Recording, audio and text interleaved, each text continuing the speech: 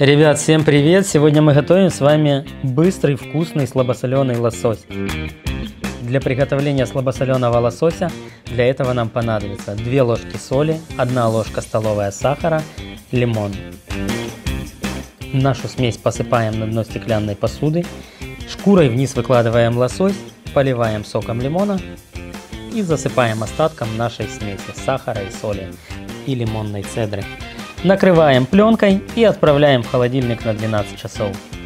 Спустя 12 часов достаем нашу рыбу с холодильника, нарезаем на слайсы, намазываем наш багет маслом и делаем наши прекрасные бутерброды. И вуаля!